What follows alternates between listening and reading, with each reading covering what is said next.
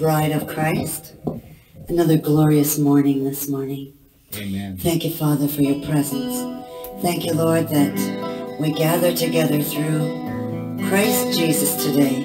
We have Jesus Christ in common today, right? He binds all our hearts together. Amen. The body of Christ. He is the head of the church, and we are the body of Christ. Hallelujah.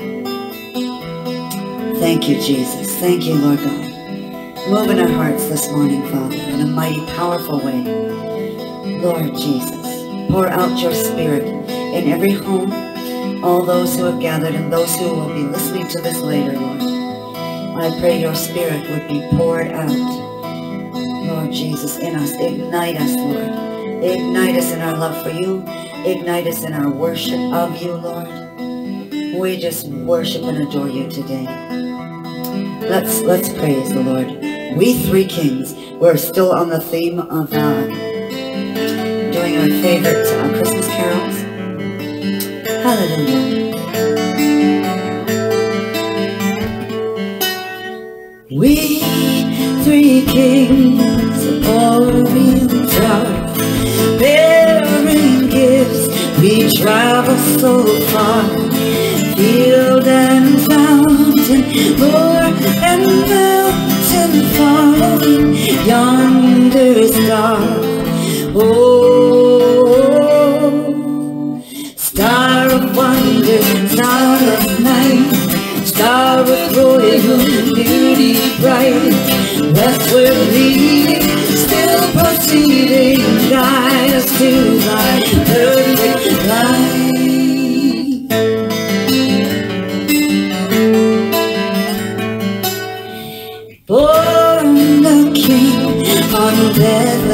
Plain, gold I bring to crown him again. King forever, ceasing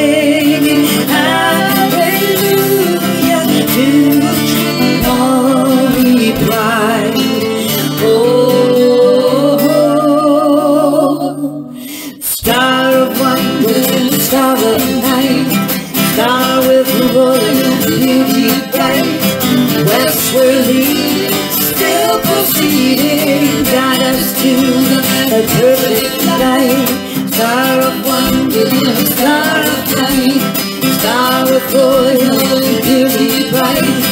That's where still proceeding, guide us to thy perfect light.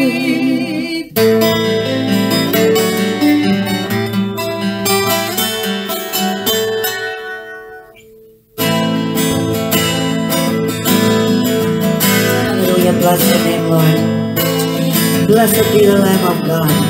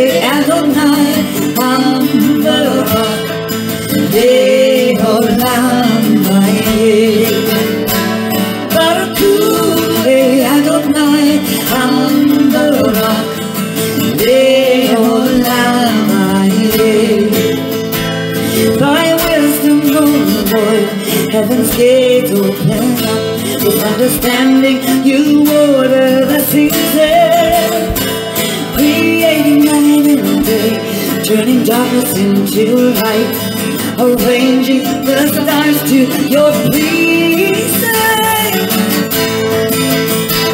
Baruch Adonai, humble up, Leolam Vayeh. Baruch Adonai, humble up, Leolam Vayeh.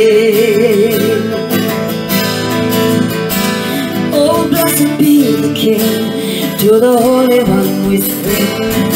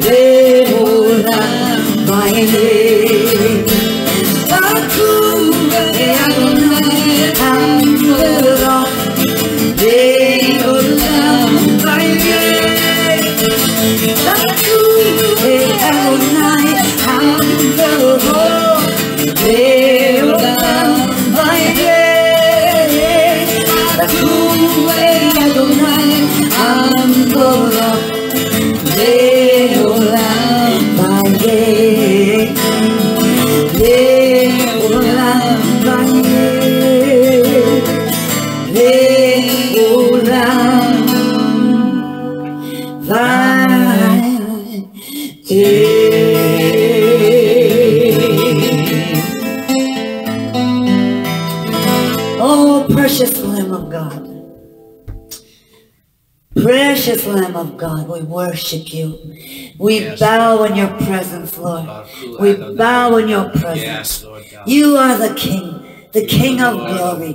Who is this King of glory? The King Jesus Christ, Lord the lords. Lamb of God. Amen. Amen. Oh, hallelujah, hallelujah, hallelujah. Oh, hallelujah. Lift up your heads, O gates of God. Hallelujah. Glory to the Lamb of God. And let the King, the Prince of Peace, pass through. Bring forth the royal robe. Let's crown him with our praise. Elohim. Elohim. Emmanuel in our midst. God in our midst. Jesus, Jesus, Jesus.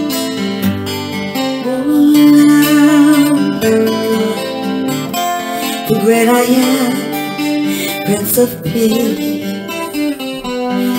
Oh, I give you praise, my Lord.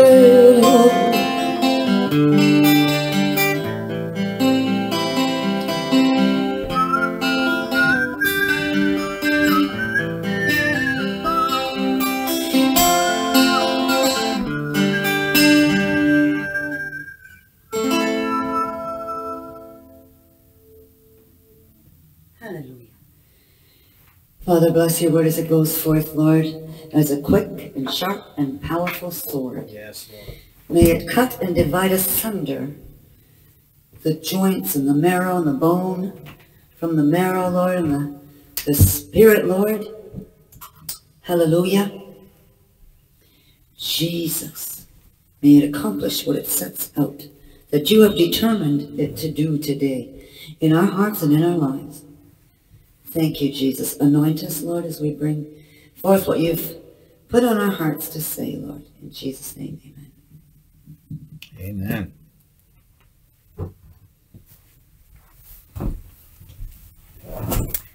I couldn't decide this morning. Coffee, water, coffee, water, coffee. Are you going to tell her? or Am I? Coffee wins. No. Coffee's made out of water. You're drinking it both. Yes, but it has an addition to it. Okay, you know what? I'm turning on the light. She needs a lamp on course I do. branches. There you go. I look kind of yellower, but The lamp. on. praise God Almighty. Branches. Yeah, it does give a little yellow cast. so- Praise God. but it doesn't look as as, as it was bright as yes uh, yesterday. So anyway, Glory to God. glory to God. Um, Glory to your name, Lord.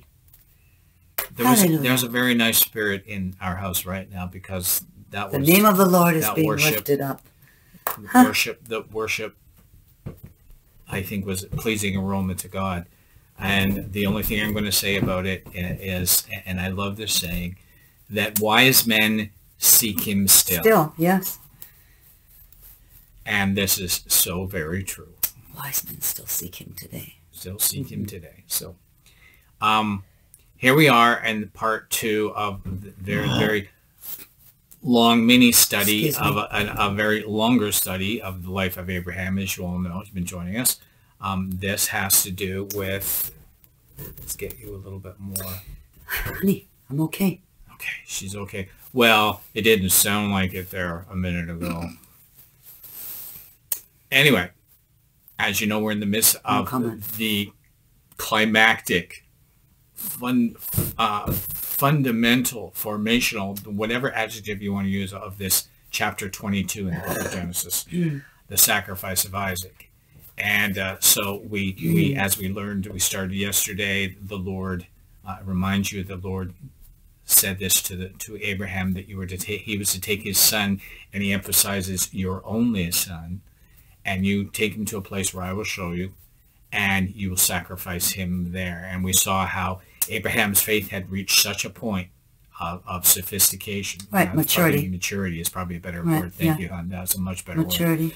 maturity where no questions asked. There was no, you know, as before, and we pointed out before, whenever God made a promise, Abraham always had something to say about it, you know, questioning about, you know, as, as one would. And of course, God And you know, God could have stopped him, stopped Sarah from, you know, with Hagar. He could have stopped all that. oh, he could have stopped, he yes. he yes, allowed right. it. He could have intervened and said, no, Most likely to grow his faith. And sometimes God allows these trials in our life to grow our faith.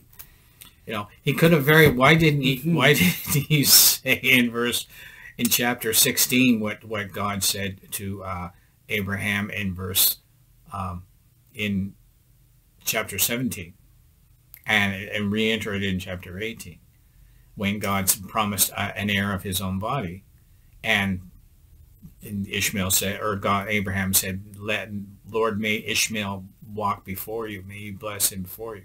And God reiterated, no, this will be between you and Sarah. Um, and let- Anne's point's well taken. Why didn't he intervene when, when Sarah, anything. Yeah. he allowed it to happen? Yeah. So, and, and, you know, it's one of those big questions in to our grow lives. his faith, to prepare him for the, the Absolutely. as well as that, and um, the two nations, right? yeah. The, eh, God sees so far ahead of us. I mean, they didn't. They didn't see that. Abraham and Sarah no. didn't see it, of course. And you know, I probably didn't question He, it. he lets them why have he, their way. why they didn't intervene. But it's more of a lesson for us. I mean, how many? How we can all point in our Oh, yeah. lives where something happened, and what was our first response? I'm going to take care of it. well, that true, but oh. our first response is, why didn't God stop that? why didn't God intervene? If he knew this was going to happen, why did he not intervene? Why did he not stop it? Because he allows it sometimes. He allows for it refining for his own, for his purposes. own purposes. Again, this is where we his talked glory, about his before. namesake.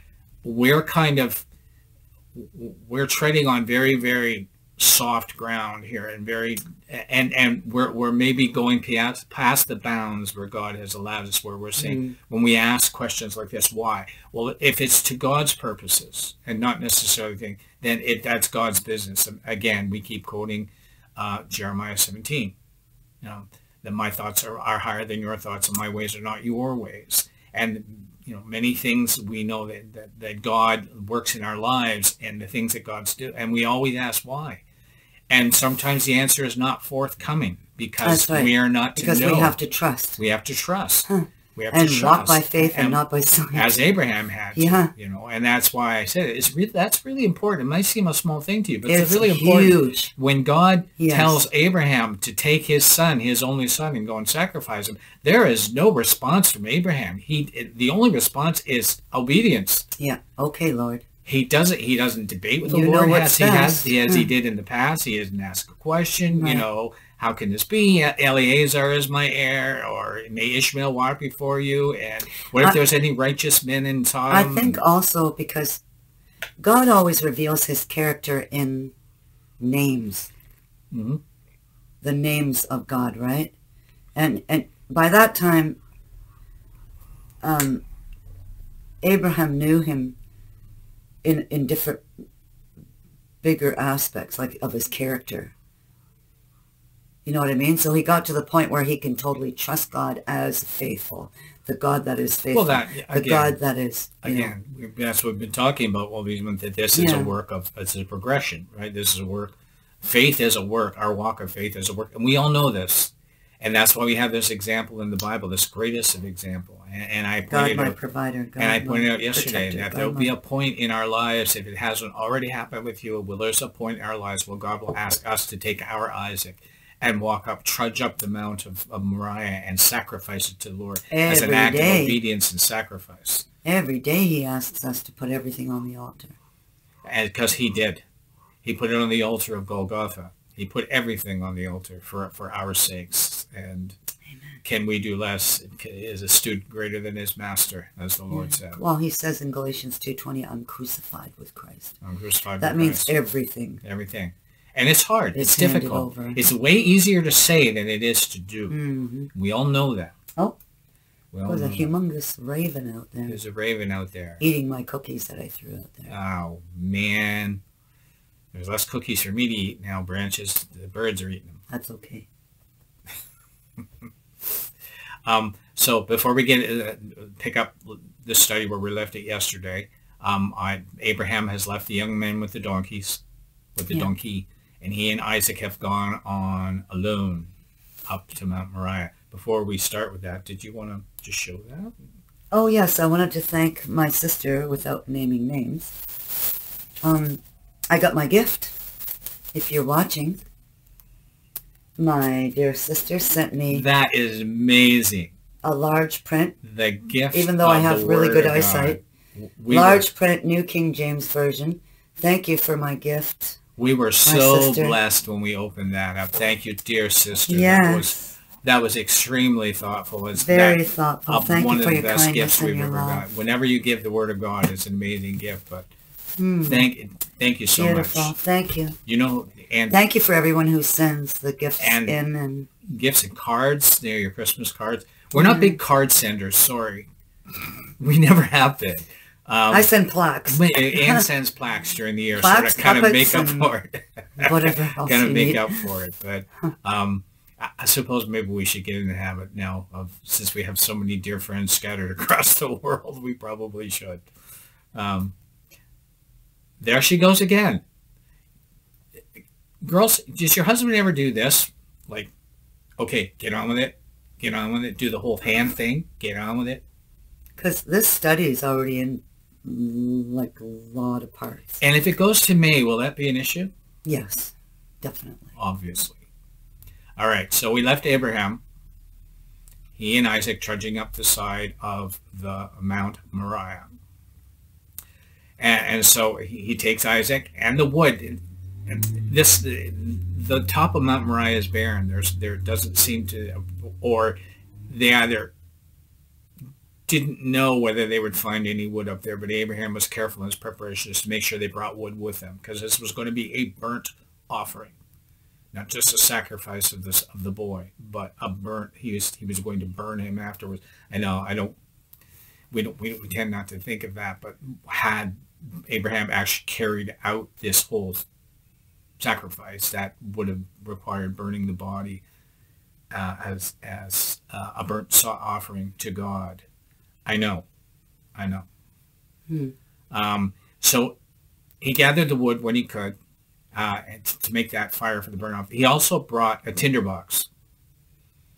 Um, and some of you know that's an old name, tinderbox. We don't have them anymore ever since, you know, now we have lighters and, and various other ways mm-hmm. to start a fire. But in those days, um, flint or it, it, they, they had flint where they could spark, but a lot of times they carried this box that actually had a coal, a burning coal, or right. a little bit of a slip of a flame already burning it like a candle. Yeah. yeah and you use that as your source to make your fire. And it was in, in tinder, but way back in the 18th and 19th century, they called and you them pray tinder, it didn't go out. Tinder uh-huh. boxes. You know, they didn't have lighters or anything like that. And you pray it didn't go out, but you, you attended that. So um, they brought a tinder box with, with a flame to start the fire. Um, Abraham thought of everything. He knew. He'd given a burnt offering before. He knew what was required. Um, and he brought the knife that would ultimately be used to do the thing he dreaded the most, to kill his only son. And, and so as they trudged up this long slope of the mountain uh, that the Lord had chosen for the sacrifice, he, in his mind, because he'd given burnt offerings before, but of, of sheep from his herd. Mm-hmm. You know? And there's a spe- there always was a, a, it isn't just an everyday ordinary knife that was needed. This was a ritual knife, a knife that had to be blessed, right. usually made of flint. Um, and of course, this is the knife that, that Abraham would have used to uh, sacrifice the animals. It may even have been, although it may even have been the, uh, uh the knife that he used to circumcise Ishmael with and some of the other men. They, they did use mm-hmm. flint knives for that, for that particular. They may have mm-hmm. something separate, again, to speculate. So we find ourselves in uh, Genesis 22. Gen- we're going to one verse. it's almost it seems like it's one verse at a time. This is Genesis 22, verse 6. So Abraham took the wood of the burnt offering and laid it on Isaac his son, and he took the fire in his hand and a knife, and the two of them went together. And of course, so as I said, he's brought the wood and his son. And so he gets up there, and, and, and very succinctly, the Bible says he takes the wood of the burnt offering and he laid Isaac on it. And he took the hand as the, the fire and the knife, and so they went both together. Mm-hmm. So again, he's taking all these things. Um, there are a few places in Scripture that paints for us a more stark or prophetic shadow of the crucifixion than here. And one of the reasons Isaac has always been seen as the biblical archetype of the mm-hmm. Messiah, of the sacrifice of the Messiah, I should say. Notice that Isaac, and certainly unknown to the boy, was being made to carry the instrument of his destruction, namely the wood that would be set ablaze in order to consume his body for the sacrifice. Isaac was asked to carry the wood. How startling a parallel with that of the Lord Jesus, who was compelled to carry the instrument of his own destruction, the cross. And because of the effects of the scourging he had received, was mercifully given to another in order to complete the walk of death. We find this in Mark 15. Verse 20. And when they had mocked him, they stripped him of the purple cloak and put his own clothes on him. And they led him out to crucify him. And they compelled a passerby, Simon of Cyrene, who was coming in from the country, the father of Alexander and Rufus, to carry his cross and they brought him to a place called Golgotha, which means place of a skull. God was demanding a sacrifice to atone for the sin of humanity in the death of his Yeah. own son.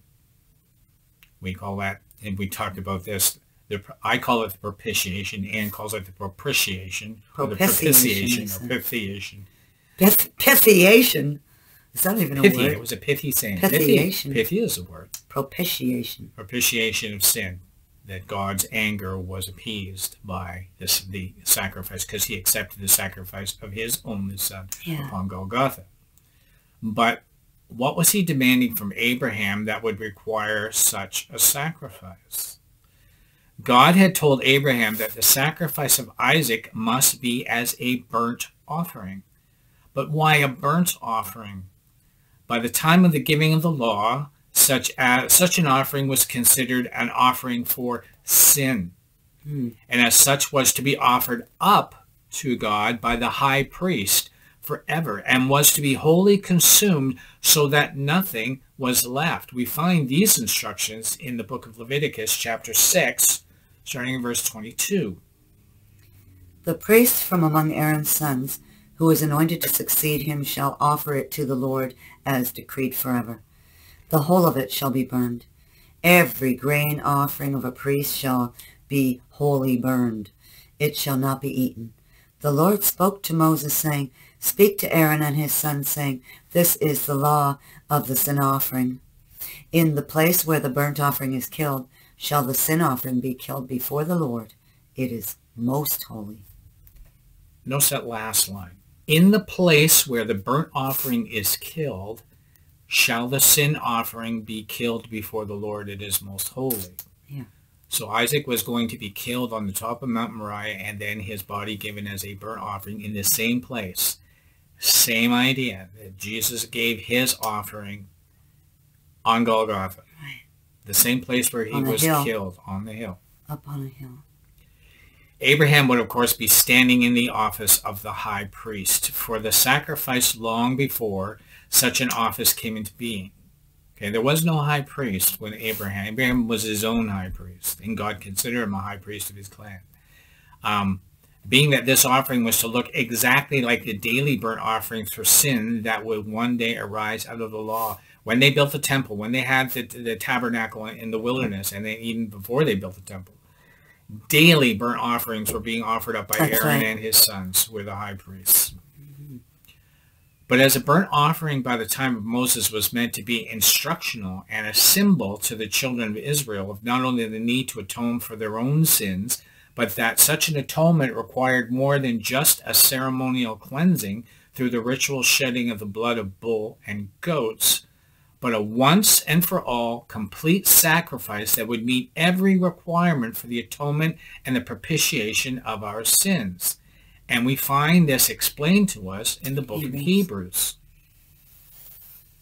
For if the blood of goats and bulls and the sprinkling of defiled persons with the ashes of a heifer sanctify for the purification of the flesh, how much more will the blood of Christ, who through the eternal Spirit offered himself without blemish to God, purify our conscience from dead works to serve the living God? But in these sacrifices there is a reminder of sins every year. For it is impossible for the blood of bulls and goats to take away sins. Consequently, when Christ came into the world, he said, Sacrifices and offerings you have not desired, but a body have you prepared for me.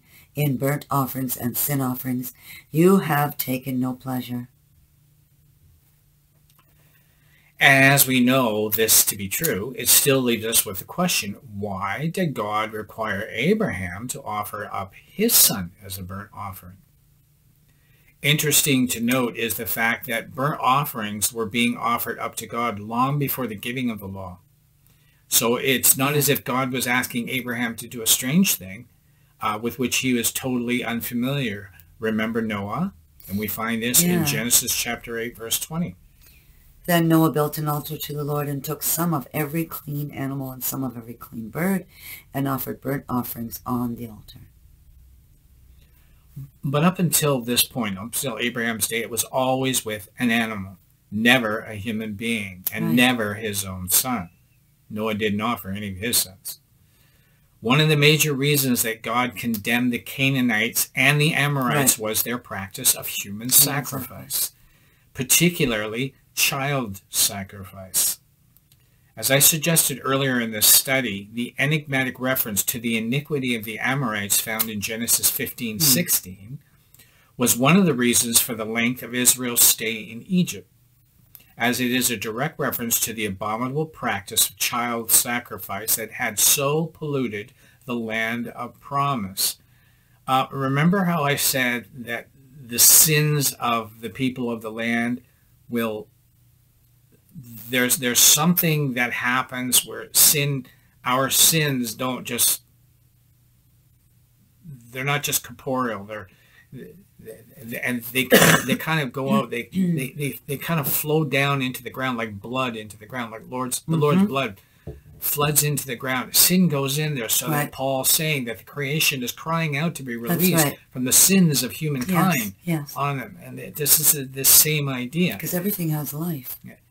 It took it took god Everything has everything life. has life and so god That's why the earth feels everything, the sin, and you know when the blood came in, it received it, and it's like, whoa, and and I pointed out remember remember what God said to Cain Yeah. the blood of your brother Cries Abel out. cries out cries out from the ground yes, yes, and so we we we really need to, to, to have this in mind to think about this um, and this is why um, it was 430 years it was not just 430 years for the Amorites to repent it was 430 years for God to cleanse the land same idea, same reason. Why did the children of Israel, why did the Judeans have to go and stay in Babylon for 70 years? Yeah. Because the land had to be ritually cleansed. Why? Because Israel had missed 70 jubilees since Yes, they came yeah. into the land. hmm And so they had to say one year of exile to make up for all those jubilee years every 50 years. Um, was it 50 years or every seven years? Maybe every seven years. Is that- Jubilee. No, that's every fifty years. That's what I thought it was Jubilee, Yeah. but it was. Um, where where the land had to be cleansed. It might have been the seven year. Oh, it's seven years. Yeah, yeah, yeah. Remember Of that planting, for and then six you- years then- of then you planting rest. and ten years Yeah. of rest, and Seven then, you know, but they didn't do that. But it was also something to do with the Jew. Anyway, the number added up to seventy, which is why Jeremiah said it was seventy, and the reason was to to atone for and and cleanse the land so that the people could come back into it. Same idea with Egypt coming out of Egypt, but it took them Yeah. a lot longer than 70 years to 430 years. Anyway, um, back to the child sacrifice of the Amorites. For his part, Abraham would not have been unmindful of the hideous ritual going on all around him. Remember, he's he's a pilgrim in the land. He's a stranger in the land. Yeah. Yeah, it's not that he's not familiar. Unf- he's not familiar with human sacrifice. He's, he probably he saw in Ur, the city of his birth, the Samaria with the Sumerians, and but he's seen it with all these people groups in Canaan. The whole 25, 30 years he's been here, Mm.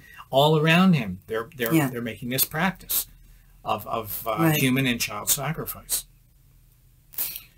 Yeah. So, Uh, like God, why are you asking me to do this? That's right. and he, He, would could have asked that, you know, like and and he again going back. This is why this is really kind of wow. yeah, because- you're, you're nothing like this. I mean, we would all would say, "Are you kidding me? We know, I know how you feel about human sacrifice, Lord. Why would you tell me? You're obvious. This obviously isn't the voice of trusted him God. that much. This obviously isn't the voice of Yeah. God. This isn't God asking me to do this." Mhm. Um, and again, he wouldn't have been unmindful of all the practices, uh, uh, reminding him because they were all around him, the altars and the shrines and the groves, the sacrificial groves, where the king in the hills. There's a lot of that kind of symbology um, when it talks about idolatry. Uh, uh, in in the next uh, throughout the Old Testament about going uh, about how the Israelites indulged in idolatry by going to Yeah. the high hills and and indulging in all these wicked practices and um, so again he wouldn't have been unmindful he would have seen images he would have seen reminders all around him and about how hideous and how uh, how uh, this was abomination in the sight of the Lord And like us, he would most likely have had a natural revulsion of, of, of such doings, of these things, especially as he was childless at the time and he's seeing them sacrifice their own children. That would have been really reinforced in him.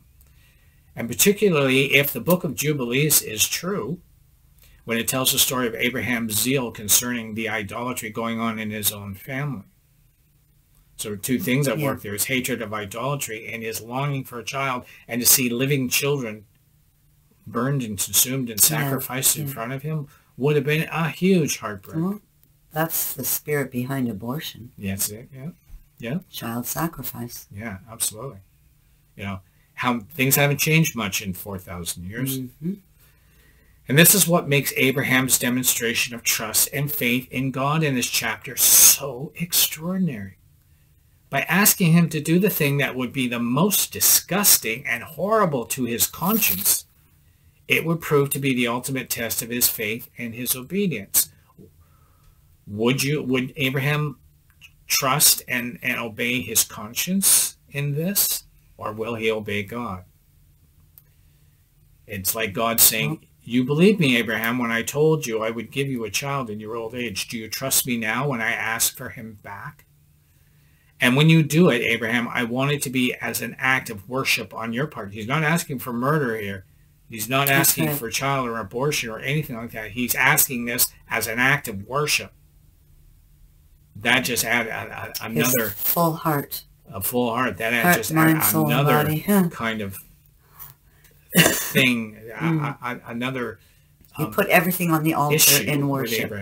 Everything gets put on the altar Everything. in worship. Everything in our lives. And you know, we like to say, well, you know, Lord, I, I, I will, no problem. I will joyfully do that. Will you? Will you?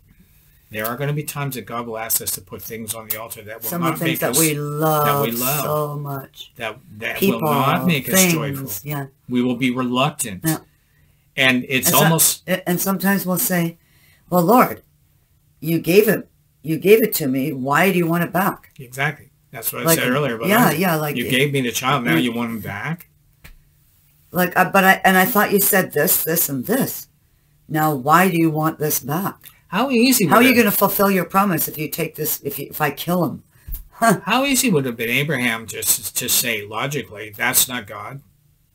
And yes, think about this, branches. It is not God. When God asks you to sacrifice a human being, you know that's not God. And it, it was God in this case. hmm And this is why Yeah. we got to try to get to the heart of, of this is this is quite a mystery. Paul talked about the mystery mystery of the church. And I the think a lot of people today, if if they were to hear that, I want you to put your your son on the altar and like bring your knife and your, they would say you they'd be rebuking the devil left Mhm. and right, like in a similar case, right? exactly. We all would be. They'd be like blaming the devil for this and blaming the devil if for we no. heard that, we would say that's not of God. That's not of God. That is not of God. But Abraham, What? God told you to go marry a prostitute?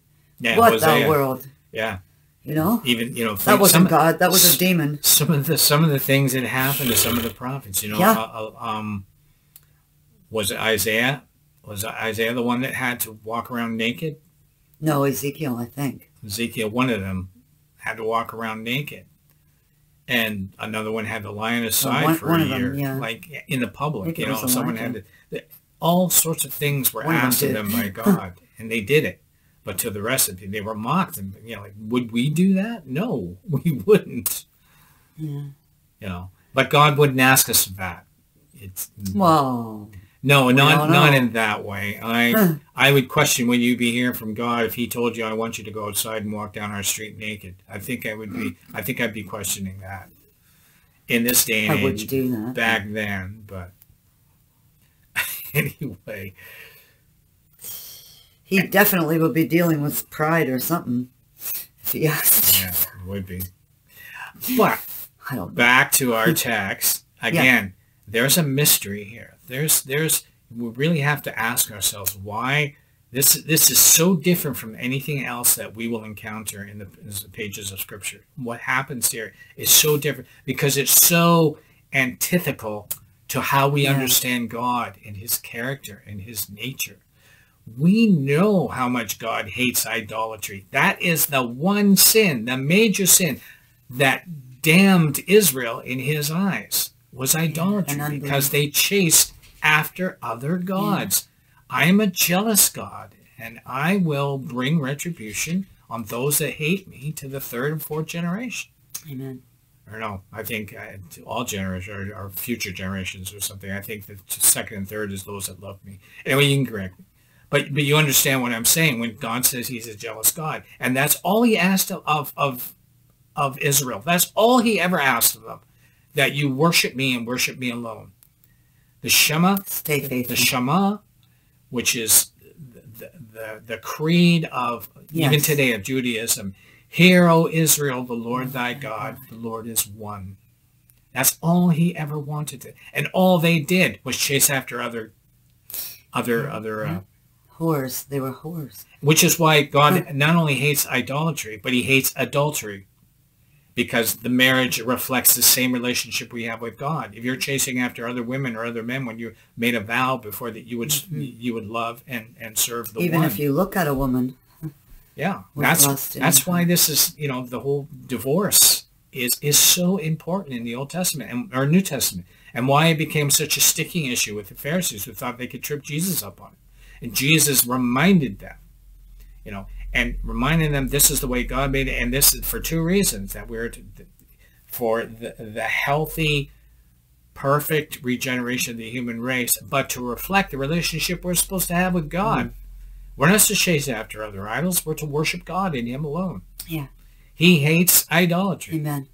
In fact, in all the widespread catalog of sins perpetuated by mankind, I can't help but believe this is the one that he, he not only he hates the most, it's the one that grieves him the most. Yeah. It is this sin in particular, the sin of idolatry, that ultimately separates us from our God, because it is sin, um, because it is the sin that not only denies that He is the Creator, but it denies He exists He at all. Lord. yeah. Why then is he asking Abraham to do what is most detestable in his sight and commit a sin that will surely sever their relationship? Think about it. hmm If Abraham had gone through with this, what do you think his relationship with God from that point on would be? I think we can all commiserate as human beings that he would be so grief-stricken. And of course, think what would happen to the mar- their marriage. But he did say, like, whether you choose to kill this child or not, or to save him or bring him back to life, or No, he didn't say that. he said you can bring him back to life. No, the Hebrews, the author of Hebrews said that that was he was he was looking back at it. Doesn't say that here in Genesis 22. No, not here, but It says in It does Hebrews say in that he believed that God had the power to bring back to To- life, right, and that right. that was a way of understanding why Abraham was Mhm. was willing to do this because he knew that it was of God and God would raise the the child back to up raise him again. back. How would that, what what a picture that would have been had he actually killed Isaac and then God have him res- resurrect him. What a picture of Christ that would have been. Yeah. But we didn't get that far. No. But, uh, but again, think about how this would not only destroy his relationship with God, it would destroy his relationship with Sarah. Sarah. Sarah, if he'd gone back empty-handed and told Sarah what he did, she probably would have died right then and there. Or if they had, they wouldn't have had a marriage. They wouldn't have had a relationship. Um, maybe, maybe. Well, I'm just thinking of, you know, apart from the spiritual aspects we're talking about, I'm thinking about human nature. Put yourself in Yeah, Abraham's shoes. yeah. I'm putting myself in Abraham's Well, Abraham's because shoes. she wasn't at the same faith level as him, obviously. That's why, as I I said think yesterday, that's why she would. That's why I said panic. yesterday he didn't tell her where he was going because there's no way she would have allowed it. No way. And then if he were to come back and tell her what happened, again, I'm speculating. I'm just saying, but given human nature, I know how I would feel. I know how most of you probably would feel.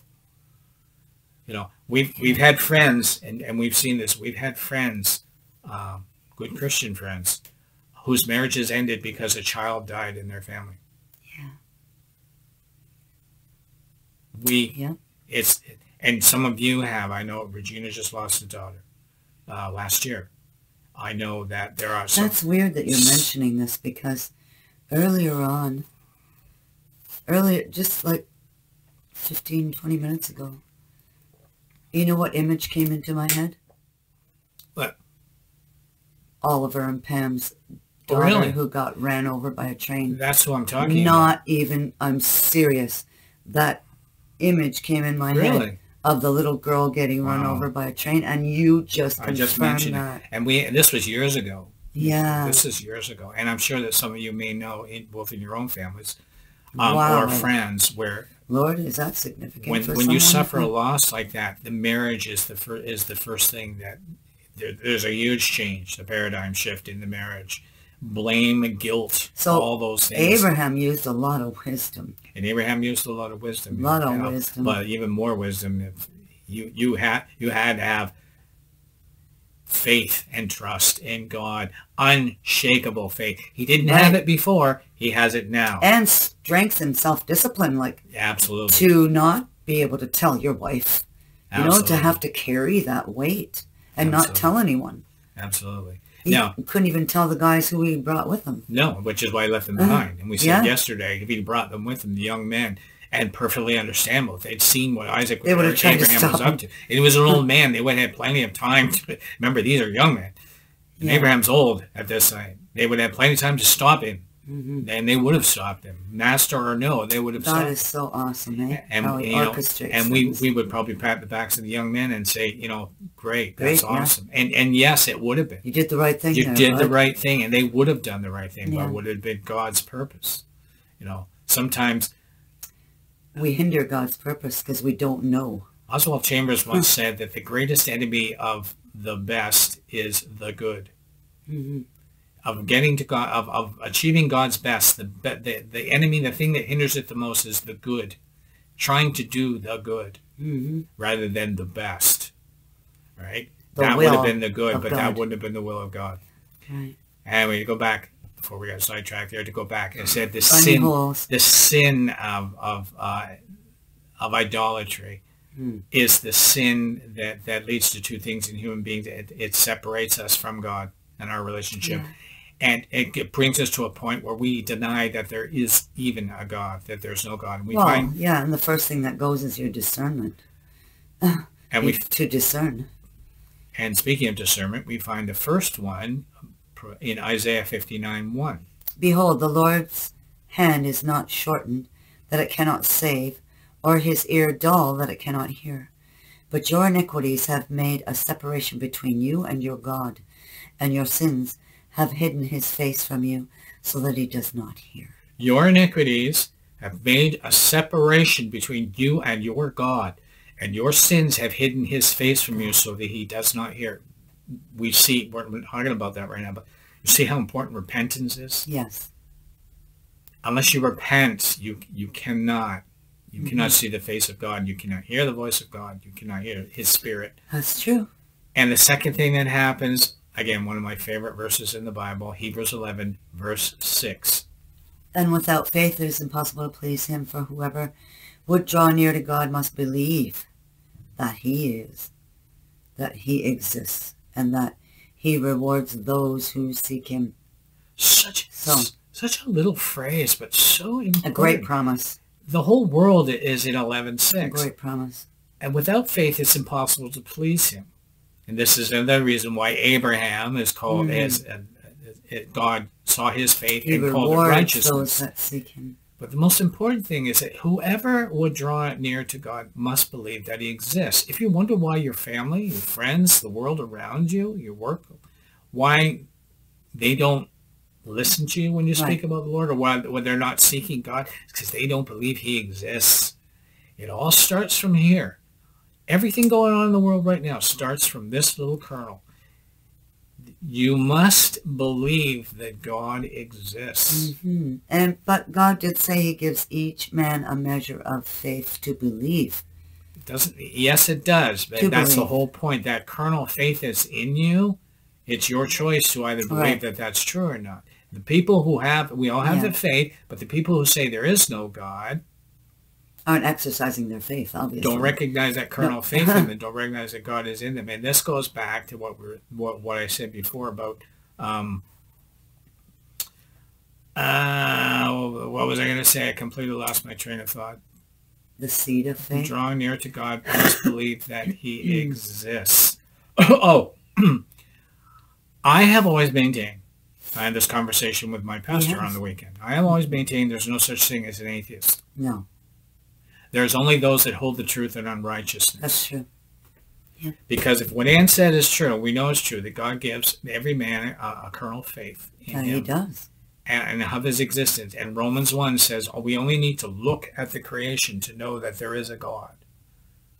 If you can't, you cannot logically, emotionally believe there is no God, but you can hold the truth in unrighteousness by saying there's no God. I've already suggested that to carry out what was being commanded to uh, commanded by God to do would be the ultimate test of Abraham's righteous faith. But how, I wonder, would such a test test benefit God? Hmm.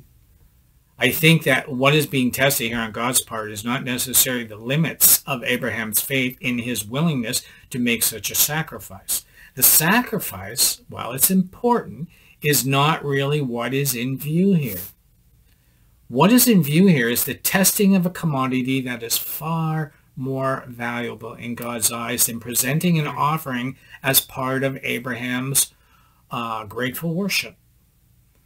No, what is being tested here is not so much Abraham's faith, although we do see that here, but his obedience. hmm And more than that, we shall discover in the verses to come that God is looking for the kind of obedience that is motivated and perfected by a holy fear of the Lord, a fear of who he is, the Right. great I am, Yeah. rather than a fear of what he can do.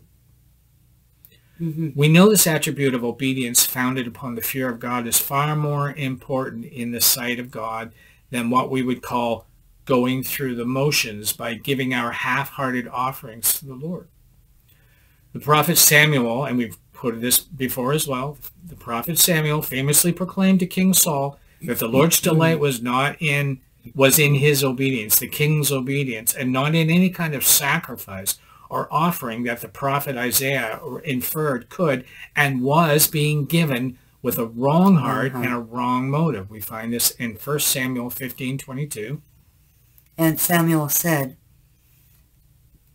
Has the Lord as great delight in burnt offerings and sacrifices as in obeying the voice of the Lord? Behold, to obey is better than sacrifice, and to listen than the fat of rams.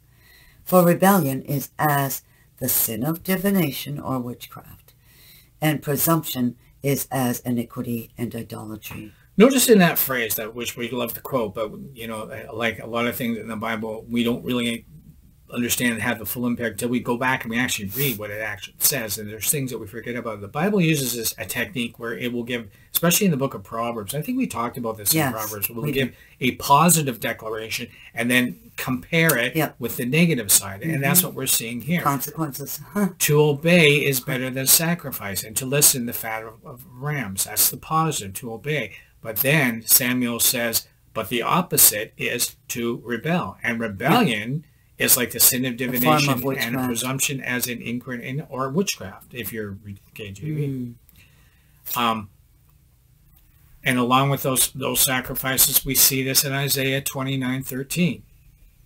And also rebellion is as witchcraft. We just said that.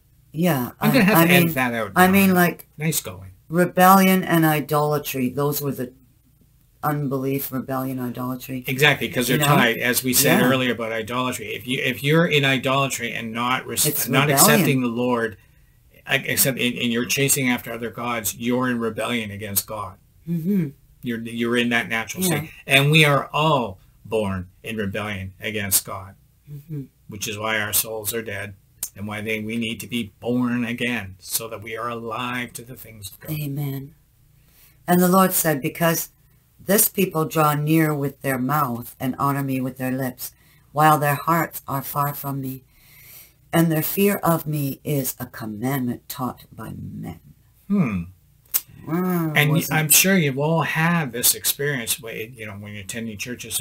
You you can know you know people who profess to have faith in Christ, but there's no fruit there, and you know they they're saying things they, and do things in the world, and and you just you shake. What in what in the world? You know this, what a bad witness for Christ. Don't and you feel like saying, hey, listen, buddy, don't tell anybody you're a Christian. yeah, okay? exactly. because you're not you're not a, a very good model here and and why because they draw near with their mouth and honor me with their lips while their hearts are far from me he wants your hearts not your lips because out of the abundance of the heart The mouth speaks. the mouth speaks and whatever your mouth will speak is is as lord jesus says from your heart which is Yeah. why you know the lord is saying I, their hearts are far from me and it's proven in what they say and what they do So if you hear someone saying the same thing over and over, I mean, it's not referring to something a one-off. I don't. I don't believe that. You know, I think it has to be something that's continual.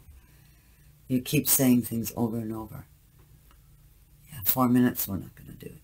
Make it we're ending there hmm, okay, but if you interject a lot of things, then If then we look at this episode from that angle, then I think we can safely say that the Lord took great delight in Abraham for his willingness to be obedient, even when what was being asked of him cut against the grain of all his understanding mm-hmm. concerning the ways of God.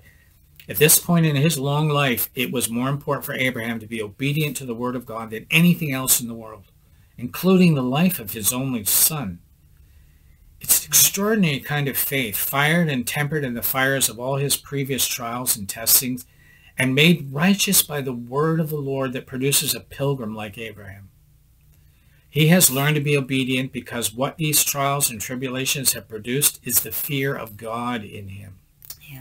He's not only seen the blessings of God at work in his life, with not only the protection and provision that God has provided for the wandering pilgrim and his clan in the last 30 years in Canaan, but he has seen the promise of a child in his old age come to pass as well. But Abraham has also seen the wrath and judgment of God displayed in an awesome way, as he was an eyewitness to the spectacular destruction of Sodom and Gomorrah. That is why I have maintained all along in these studies that the Abram of Genesis chapter 12 would have been incapable of doing what the Abraham of Genesis 22 is called upon to do right. without God laboring for many years to perfect that faith to a point of complete obedience by cultivating a proper fear of God in his life. And I don't need to tell you, you've been in many churches, that there is a lot of times there is no of lack of fear of God in these places. Abraham did not have this reverential fear in his first years in the promised land, which was why he was able to glibly question God whenever, whenever the Lord gave him a promise. Now that fear is a reality in his life, making his faith pure and unshakable so that his Right. response to God is not in words but in action. Mhm. And the change of his name was intended, I think, to reflect that reality. Just as God performed this work of redefining, uh, refining the faith in Abraham, so too he will do it in and through all of us, spiritual sons and daughters of Abraham. Amen. And we're going to finish with Exodus chapter 20, verse 20. Moses said to the people, Do not fear, for God has come to test you, that the fear of him may be before you, that you may not sin. Very important.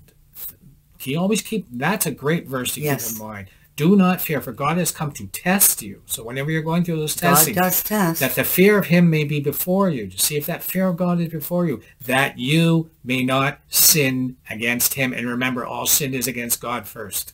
Right. And Hebrews 5, verses 7 to 9. In the days of his flesh, Jesus offered up prayers and supplications with loud cries and tears to him who was able to save him from death. And he was heard because of his reverence. Although he was a son, he learned obedience through what he suffered. And being made perfect, he became the source of eternal salvation to all who obey him. Amen. Amen. You may not have noticed it, but we just spent a whole hour of a Bible study on one verse. Genesis 22, verse 6. So tomorrow we'll pick it up in verse 7.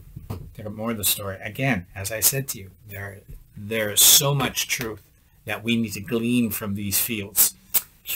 And uh, it's been an amazing study. Uh, just the chapter 22 in itself. I was I was amazed at how much the Holy Spirit was giving to me to share with you.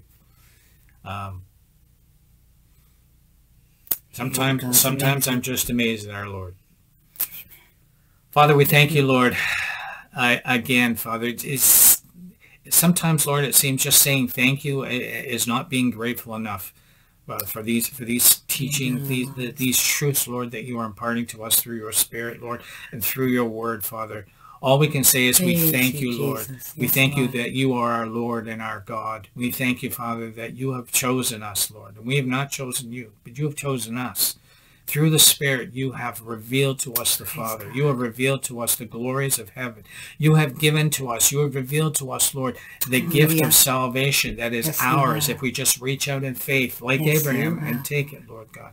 You have shown us, Lord, that that faith will be will be shown and reflected in obedience in the things that we do and the things that we say, Lord God. And all these are intimately tied together so that we might be powerful witnesses for Christ in the world, Lord.